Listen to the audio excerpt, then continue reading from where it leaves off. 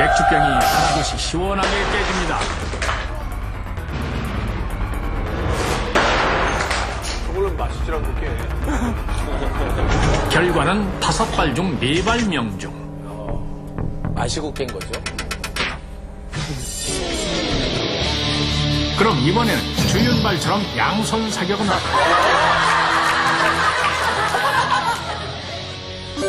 그런데 복장이 좀 이상합니다. 예. 아무리 주윤벌이라도 이 사격할 때는 방탄복을 꼭 입고 사, 사격을 해야 됩니다. 그래서 입었습니다. 살짝 소심한 주윤발이죠. 과연 잘 맞을까요? 영화 속 주인공처럼 멋진 사격 솜씨를 볼 수 있을지 지켜보겠습니다.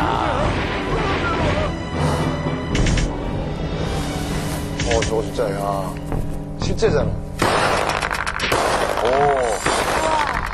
아제트 형사 같아요. 다른 각도로 보시겠습니다. 전혀 안 맞고요.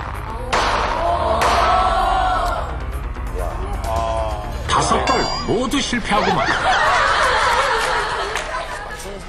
원래 그건 아주 쏜거 아닐까요? 느린 화면으로 보니 보세요, 총알이 그냥. 전혀 다른 곳으로 가고 있습니다. 그렇다면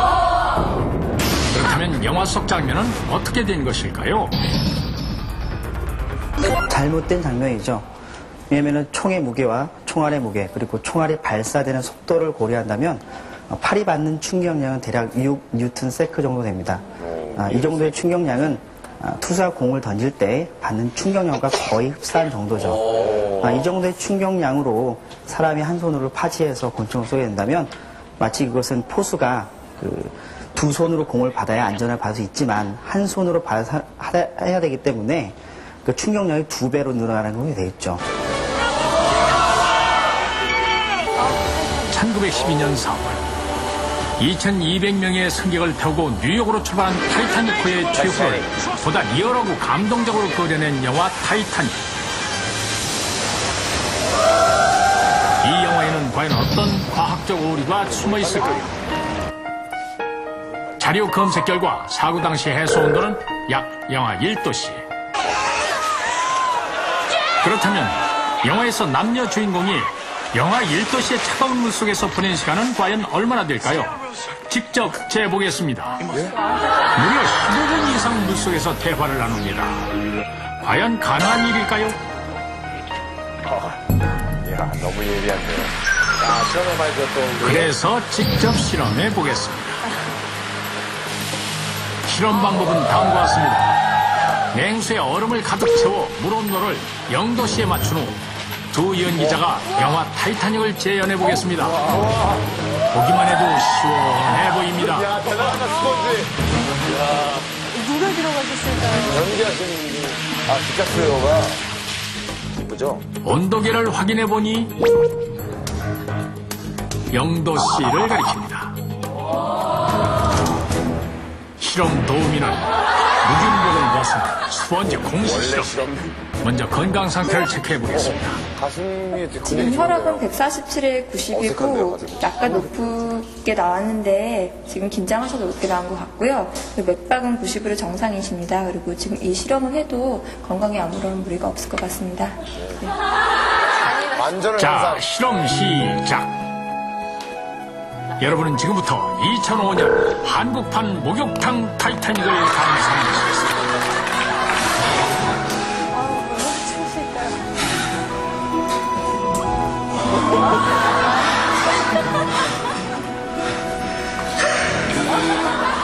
목까지 닦아주세요.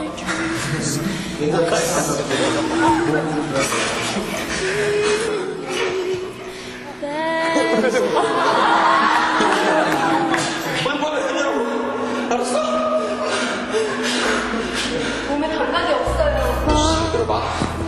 생존권을 얻은 시 우리 지금까지 이런 일들 중 가장 최고의 것이었어. 이유에 대해서 모르지만 이 모든 것에 대해 화이트 스타 라인이 자세히 편들을 설정점이야. 어머, 얼마 줄까, 아이고.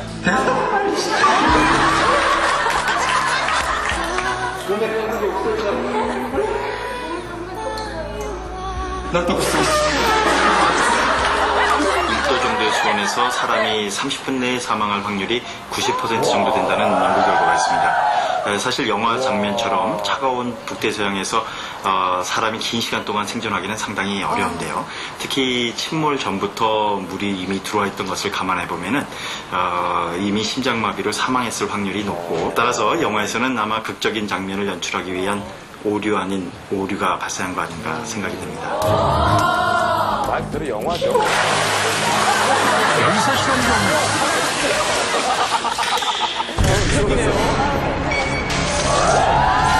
유전자 조작의 슈퍼거미에게 물린 주인공이 악의 무리에 맞서 싸운다는 내용의 영화 스파이더맨? 단순히 슈퍼거미에게 물렸다고 해서 그 수많은 능력이 생겼다는 것조차 허무맹랑하지만은 특히 이 부분 주인공은 손끝의 돌기를 이용하여 벽을 손쉽게 타게 되는데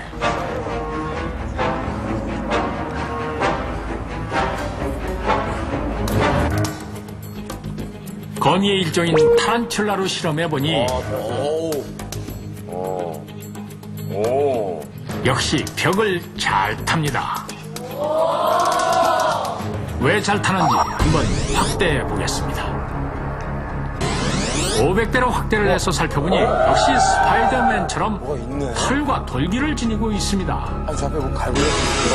하지만 스파이더맨의 손과 발은 늘 장갑과 창환 덮여 있어 돌기가 가려져 있습니다. 그렇다면 타란툴라도 고무장갑을 끼고 벽을 탈 수 있을까요? 실제로 고무장갑을 끼워보겠습니다.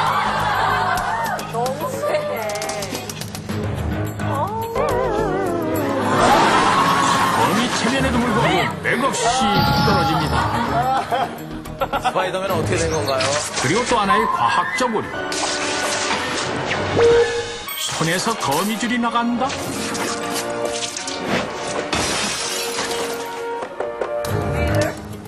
그러나 거미는 몸 끝부분에서 줄을 뽑는 것으로 알려져 있습니다. 그렇다면 제대로 된 모습은 바로 이런 모습이 아닐까요? 약간 민망하긴 합니다. 직접 영화에 대입해 보겠습니다. 여자 주인공을 구한 후 손에서 뿜은 거미줄로 유유히 도시를 가로지른 우리 스파이더맨.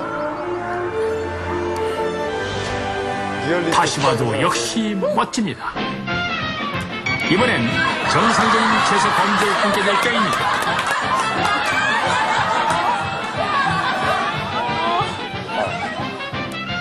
어떻습니까? 판단은 여러분의 몫입니다. 그렇다면 왜 영화 속에는 많은 과학적 오류가 있는 것일까요? 사실 영화는 과학적인 상식을 물론 바탕으로 합니다. 하지만 거기에 그 어떤 상상력을 불어넣는 것이죠. 그것은 과학적인 상식을 극대화하거나 아니면 극단적인 것으로 밀어붙이게 되어 있지요. 뭐 예를 들면 지구가 통째로 언다면 어떤 일이 벌어질까? 해성이 충돌한다면 어떤 일이 벌어질까?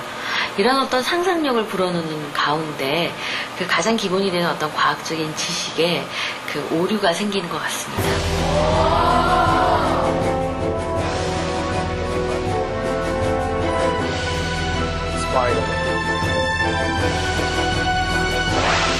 영화는 영화일 뿐 따지고 보면 재미없습니다.